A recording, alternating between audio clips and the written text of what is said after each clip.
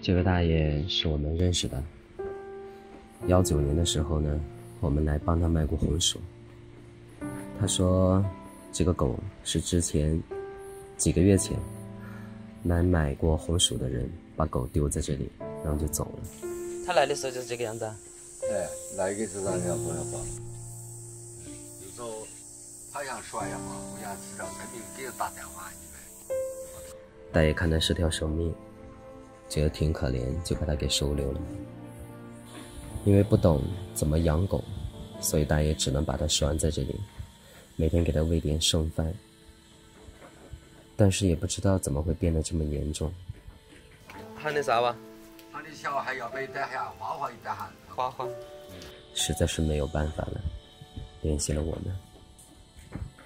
看着花花这么难受的样子，我们决定带走它。去给他治病。把笼子准备好，把笼子拿过来。五六岁吧，脖子上有脖圈。慢点，慢点。公狗。嗯，皮肤变很严重。这也不是犬瘟后遗症。他每天都吐吗？没事啊，没事没事。你要记得那个人吧，那丢狗的人。就他那本都那什么，他不要我就把他弄噻。弄走，弄走，拍。哎，给我弄弄起走了哈，弄起走，我带回去给他治病。快要上车的时候，我发现大爷在哭，在雨中，但是那个身影让人觉得很心酸。可是我们的感受是什么？我们的感受是，大爷明明是减轻了自己的麻烦，为什么会哭呢？就让我觉得这当中有隐情。哪个呢？到那街上去，我打打湿了。回回去回去回回。哪个呢？你舍不得你把狗又放在这个环境里面养，你哪会呀？大爷，你给我说实话，这个狗到底是啥情况？啷个回事？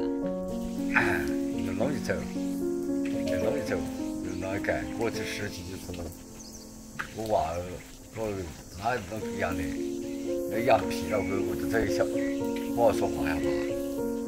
啊，把弄一走，好像死了，鬼不不不好说话的嘛。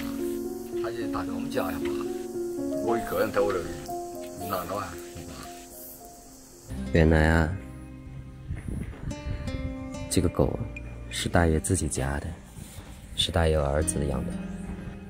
从狗小的时候就养到现在，但是儿子呢要出去打工，把狗留给了大爷。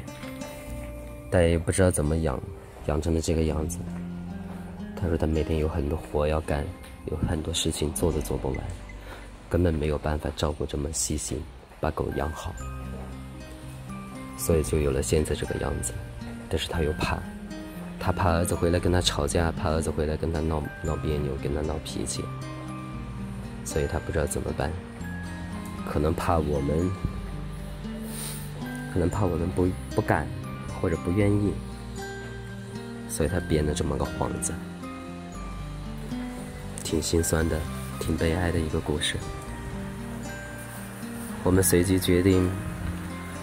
把还是把狗带走养好。这个这个也可以。养好了，看能不能给大爷再送回来，让他的儿子回来以后不跟他吵架。那能干嘛？我治好了，我还给送回来。好，好。也不枉老人这番心意。真的舍不得。他那个保保的身体还好，就就我们会会紧急。到医院呢，欢欢。老人这一辈子，活到现在，还在拼命，还在努力的工作，还在干不完的活，为了啥？希望这天下儿女都懂这些，希望这儿子也懂。现在现在好多了，哎哎，走不稳。还是还是有有一点。准备给他踢了住院。就叫他拖把吧，拖把，乖啊。他小名字叫粑粑。爸爸。叫啥？粑粑。这个名字啊，取得不好。四川话容易叫差是吗？会叫成啥？会叫成啥？乖啊，拖吧。他在前面也拿嘛。